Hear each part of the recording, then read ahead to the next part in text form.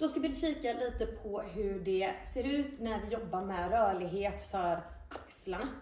Och när det kommer till axlarna så kommer vi att dela upp det i tre olika rörlighetsomfång skulle man kunna säga. Där det första rörlighetsomfånget är att vi kan lyfta armen upp ungefär hit.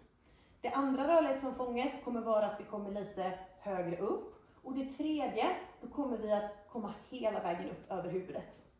Och om du var riktigt eh, noggrann i hur du såg det här nu, så såg du att när jag började övningen här nu, så började jag med tummen utåt. Jag lyfte så högt upp jag kunde med tummen utåt och lillfingret inåt utan att tappa här i skulderbladet. Därefter så kommer vi att fortsätta hålla tummen utåt samtidigt som vi går upp. Och här känner jag att det begränsas lite granna och här kan jag jobba med en viss mängd rörlighet för att bli rörligare. Och sen när vi kommer till tredje steget, då roterar jag in tummen och kommer upp i toppen. Och här vill jag känna att jag har full rörelseförmåga. Kunna hålla utsträckt arm utan att svanka, utan att jag hela tiden håller den här tajta positionen i bålen oavsett var någonstans jag är i den här rörelsen. Och den här rörelsen kommer framförallt ifrån skulderbladet, så det är där vi kommer fokusera. Men det kan vara begränsningar i latsmuskeln som gör att vi inte riktigt kan komma åt.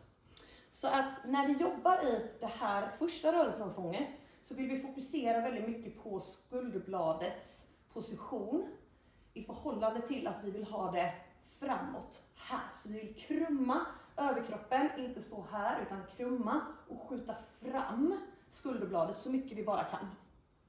Det kommer vi att vidhålla när vi sen går uppåt och ser hur långt vi kommer där.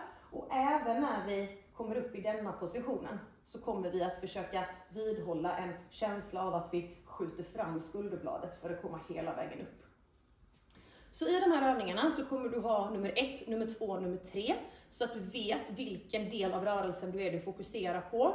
Men det allra viktigaste, det är att du känner att du kan skjuta fram skulderbladet på det här sättet, utan att vrida på kroppen, att skjuta bak den andra axeln, eller på något sätt kompensera med underkroppen, utan rörelsen är bara här i skulderbladet. Och det är där vi vill börja bygga styrka för att vidare kunna ta oss till en rak arm.